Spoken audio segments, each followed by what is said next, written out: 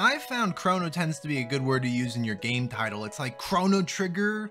Uh, well, alright, sorry. Well, there's two. Chronicon, it's also really good. Well, you want some bullet points why I think it's a lot of fun? Well, no problem. I've got them for you. 2D sprite-based graphics, incredible itemization, maybe the best I've ever seen, and a good version of Diablo 3. Now you might stop short in your tracks and think, wait a fuck, I don't like Diablo 3. That's a horrible selling point. And I'd say, hang tight, hold on, calm down, let me explain. And you'd say, no, I don't care. I won't give you a chance to explain, you pest. I'd say, like, sit down, get some breakfast, maybe some lunch, perhaps some dinner, and let's talk about why Diablo 3 3 2 might be the best ARPG ever made. I am being partially disingenuous, fancy that, because Chronicon does do a lot of distinct things, but it sincerely has a D3 feel, and it's something you instantly compare it to once you reach the endgame. But that's what I want to get across. I really enjoyed Chronicon. For me, the experience truly began as a dislike. Honestly, I sat down, opened it up, and just didn't feel it. Combat felt slow, it lacked the impact I wanted. The skill trees, I mean, look at these skill trees. These menus are chunkier than most peanut butters. I mean, it's loaded with buttons and skills and things to improve, but steadily, increasingly, it became addicting. You wondered if A synergized with B, if this item fundamentally changed this skill to go from complete trash to absolutely build defining. And guess what? Most things work exactly how you want them to. Complexity is a double-edged sword, but you can blunt the edge that's hitting you in your fucking face, and it's by being completely transparent. In my opinion, don't hide little facts about interactions. Completely explain if an ability procs another one, or if this interaction works on passive skills or only on active abilities, you know, that kind of thing. Explain as much as you can, and Chronicon does this perfectly. Only a handful of interactions didn't function exactly as I wanted, but let's chalk that up to my less than adequate mental power. So far, I've only expressed that the game feels good, and that's very much like Diablo 3, so that's a complete oxymoron, but I think if we travel through my playthroughs and thought processes together, things will begin to make better sense. By the way, we're flying through a lot of things today, so buckle up, fuckle, it's going to be a bumpy ride. On launch, you're presented with four character classes. You've got the Berserker, the Warlock, the Templar, and the Warden. Why are these all weird as fuck? We got some anti-mainstream naming going on here. That was weird. Just had a little deja vu. But anyway, these four are pretty much what you'd expect. This guy, well, he hits the ground, obviously. The Elf Girl, well, I wonder what shit she does. And the Warlock is the token magic man, and then the Templar, probably the most unique class archetype in the game. There's also the Dickel class of the Mechanist, who wasn't out while I was playing, and I'm not even sure if it's out now. I'm not checking. Mechanist, more like me cannot be bothered. There we go. Me clever, me write script. Deposit the cash into the chute. Since I am Seer, chief of the apes, I went with Berserker, named him Ballasack, and got into the world, and you're quite interestingly greeted by a hub instead of the usual ragged town full of fuckers like Gheed. So you speak with ye old bald man, and he explains that you're going to go through different time periods in history and crush ass, and you say, okay. So you have five acts in different time periods and settings to blast through, and the game really benefits from having this kind of episodic approach. Really, there's not too much of a story. Hell, you're not even much of a hero. You're just some guy stealing other people's valor. But hey, at least you can prove strong enough to fight the forces of hell. Literally, why does every game in this genre love the concept of hell? I guess it's just ripe spot for beating ass. So that's the context. Here's your free skill point. Best of luck. Alright, so welcome to the metaphorical zoo because we're about to look at a lot of shit. The player makes a choice between one of four skill trees, which is relatively overwhelming. Basically, every skill is a make your own adventure book. You have slots that have a few choices, and each dependent choice adjusts to whatever you selected.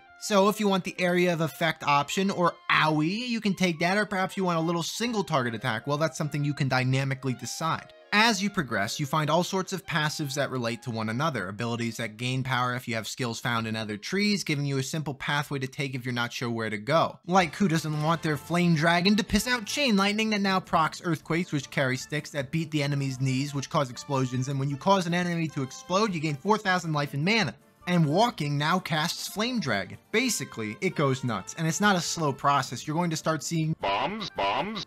the instant you start leveling up a bunch, and then when the synergies hit, it gets even more insane. For example, my Warden build, oh yeah, I shelved Ball Ballasack, first character turned into asshole, and I'll explain why in a second, but this Warden build got this like Contra spread fire shot, which casted an exploding bleed blast on kill, and then I had a tornado going around, seriously, with 10 for extreme, excessive, effectual, effervescent, effortless, elaborate, electrifying, empowering, enchanting, and enjoyable, there goes the word budget. The action in Chronicon is pretty much unparalleled in how wild it can get.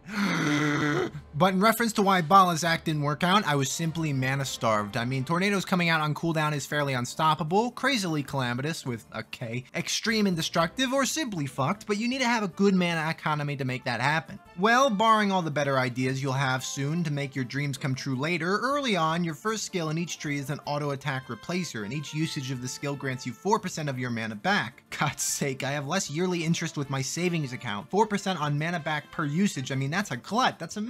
So since it really is complicated, you might spend an overabundance of time reading these trees to get an idea of where you want to work towards, but the good news is that a rough skim for the immediate leveling future is perfectly valid, because you are granted infinite free respecs. My god, this guy's working overtime. As something I'll only briefly mention, there's an additional level up and skill mechanic known as Mastery. Now, this is what the menu looks like. Cower and Fear, I know. Surprisingly not terribly confusing. This is the first of several Diablo 3 references. It can basically be compared to Paragon points, that is, infinitely gainable levels that you can use to invest in basic traits for your skills and stats. This is enormously customizable. If you like to hit buttons for the sake of it, believe me, plenty of opportunity to do so here. But I'll leave this for you to figure out. It's just too much for one man such as myself to explain in great depth. Also, nicely, you can just respec the entire mastery bar the same way as your skills, and you can even just remove a few points at a time instead of the whole table. So basically, this game is a playground. You go from location to location, fighting different enemies, trying out all sorts of skills, and here's a segue, finding very interesting gear. The loot in Chronicon is top tier. I'll try to hit on all the major details, but this could go on forever. Firstly, forget what you think about drops being rare, because that's not an issue with gearing up here. I'm sure some things are pretty hard to find, especially with modifiers you desperately want, but for the most part, there's a million items dropping everywhere. The game is pretty straight up with how many things even exist, because there's a collection log straight out of Kirby's Great Cave Offensive detailing where you got something, what it does, its favorite food, I means all in here. And for collection junkies, all RuneScape dumpos out there, this game can scratch that itch. And with only a few playthroughs, you'll probably find most of the items in this table and a ton of duplicates along the way. Not only this, but with unique enemies to find, locations you have and have not been to, how many enemies you've killed, there's a lot of fun to be had looking in menus. But back to drops specifically, you have the common rarity, which practically doesn't matter. Then you've got the better blue, which barely matters, leading into purple, which is useful for about 50 seconds. And then pink unique items, and then there's legendary red items, and then there's the Omega Orange, true legendary items. I mean, what the fuck, man? But what makes things most interesting is that gear can drop and be usable at any level, with true legendary gear being the exception, requiring level 100 to use and find. But this is where complication happens, so pay attention, put your useless fucking ass dogshit math homework away, and think about this. Five difficulties, each one increasing experience, magic find, enemy health and damage, etc. You can only begin finding legendaries on the top three difficulties, meaning you're incentivized to make the game harder and harder as you play. You can change difficulty at any time, and it's encouraged to start pretty low and go all the way up slowly.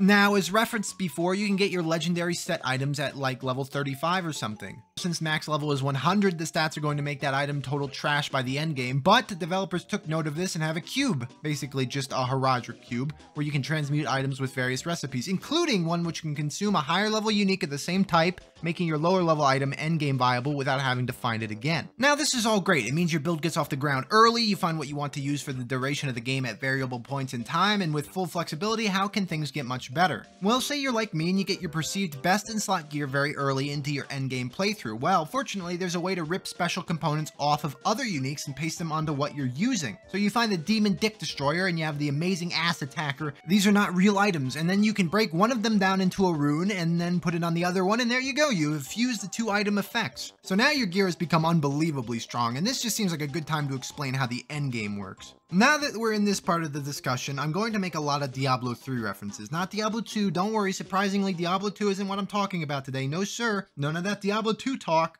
What the fuck does this bar do? If you're not privy, Diablo 3 Endgame involves a lot of farming the same shit called rifts and greater rifts and this and that. You push the difficulty up and up forever and just try to farm efficiently. As you farm, you no longer gain levels, but endlessly gainable Paragon points, which give you general character strengths. Along with this, better versions of gear you've already found will start dropping, giving you even more power. So essentially, the Diablo 3 Endgame is running a ton of repeating random dungeon screens and fighting a boss at the end. Chronicon has the exact identical gameplay loop, however, it does does have a cap, and this cap is fucking almighty. I mean, look at this percentage increase. I've seen bank accounts with less than 200 million percent interest. That's titanic. So speaking of titanic, you're going to bring a boat ton of firepower down on your foes, and you can start hitting hard, like billions of damage hard. But the beauty is that it's not handed to you. There's a lot of dynamic choices you have to make to get there, and since resistances are immensely important, you can't just go straight for power. It has to be a balance. And comparably to Diablo 3, there's so much going on here that makes the experience tailor-makeable and enjoyable. That's several ables. You can't deny that's able to make one have a good time, asshole. Enchanting, socketing, runes, companions, scrolls, potions, buffs, it's funked. But it's all additive. I don't feel like any of this was implied to be completely necessary. You will do better with more, of course, but you can get by with less.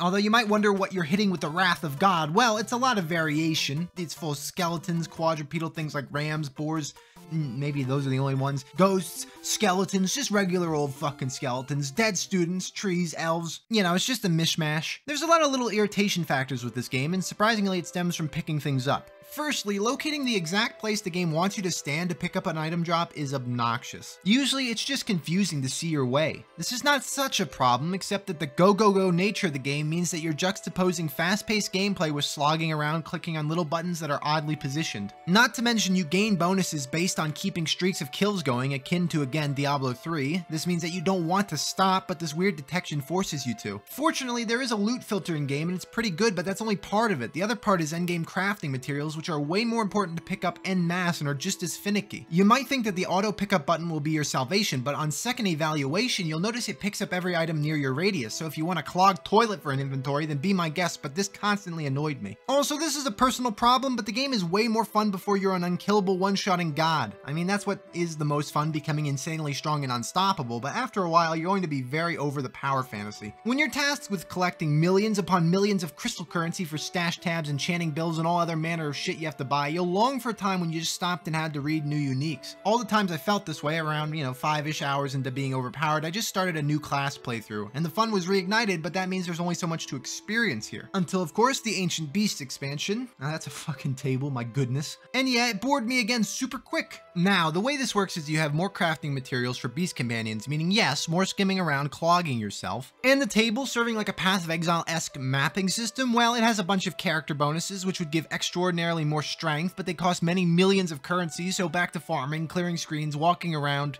It gets old. But that's not to say this game isn't fun and that the devastating amount of playability should be considered a negative to the game design. If anything, it's good you can try out your favorite build for probably months of your real life. Side note, I don't like the Berserker's face. I thought you I thought you'd like to know. I don't know why this bugs me. It just it just does. But Chronicon is quality. I really dug it. It's got a fun art design besides this fucking face. It has really cool ambience and music and gameplay. And you know what? Forget it. It's got to be in the running for the best ARPG ever made. I mean, it's the only 2D one that I've played and it's a lot of fun. I'll be playing a hardcore run and we'll be back at some point with my thoughts on that. Actually, when will that be? Could have sworn I had a plan about when I wanted to do that, but it's escaping me. Feels like a lot of little details have been escaping me lately, but that's not a problem. I think I'll just chalk it up to my apehood. But no matter what, Chronicon is part of the running, and we'll be back to chat about how it stacks up against everything else later. For next week, I think it's time for a little Minecraft done. No, it's not. Fuck that. Van Helsing next.